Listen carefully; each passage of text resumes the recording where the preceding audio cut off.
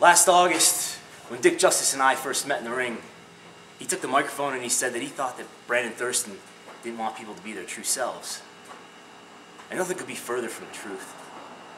And nothing could be more revealing of just how ignorant and delusional he really is.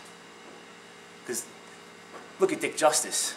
Does he know who his true self is? Because what is he? He's a, he's a comedy guy. He's a guy who runs around and makes jokes and tries to sell t-shirts. I think that's all he is. He's a false patriot who pretends to love America so that people will like him. Is that a real person? Like, is that a true self? Because if it is, that's an abomination of a person. Because at least I know who I am. I'm the patron saint of professional wrestling. I'm trying to make wrestling at least a little bit better. And some people, when they think about pro wrestling, they think of it as like this low rent, low brow crap. They think that's all it can be, and they're wrong, but they think that because of people like you, Dick Justice. Because of people like Dalton Castle who ran back off the Ring of Honor to hide because there's nobody there like me to challenge. You call up Dalton Castle before you get in the ring tonight and ask him how it went when he faced Brandon Thurston.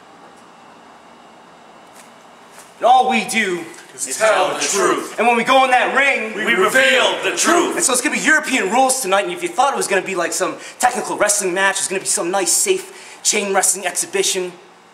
you're extremely wrong.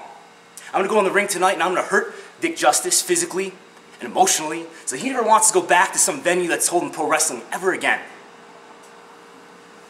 And all we do is tell the truth. And when we go in that ring, we reveal the truth. And the truth tonight that's gonna be revealed is that Dick Justice, people like you don't belong in professional wrestling.